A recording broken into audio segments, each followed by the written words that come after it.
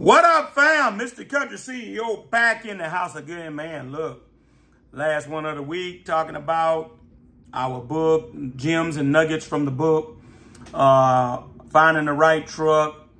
Here we are. Here we go. Let's get into it. Um, specs over make. Specs over make. I always get the question, what truck would I suggest? Mack, Western Star. People see I got those who they ask me that, right? But I'm here to tell you it's about the specs. It could be a it could be a cat, it could be a Sterling, it could be a Ford L9000. It don't matter. At the end of the day, it's about the specs, right? Of course, we all got preferences. Some of people like Peterbilt, some like KW, Western. That's about preferences right there. But when it comes to what can get the job done, it's about the specs, right? Let me run through them. 18 to 20,000 pound front axle rating. 44 to 46,000 pound rear end axle rating.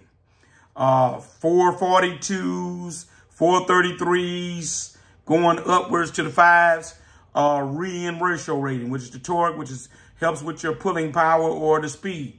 Determines that. Dump trucks typically want more pulling power than speed, right? Or I've discovered the 442 is a perfect combination of power and speed. All right. Um, automatic tarp, uh, double frame or a thick single frame. Um, automatic Allison is my preference, right? Get the Eaton, but I don't like the Eaton. Automatic though, that's the point. Um, those are the specs, right? It don't matter what truck that's on. If you got that, you are built tough enough to get the job done.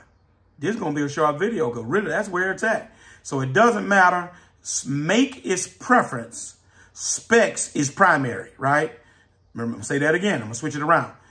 Uh, specs are primary. The make or the brand of the truck is optional. That's up to you and what you like, okay? All right. Short and sweet to the point. I'm out of here. I'm gone.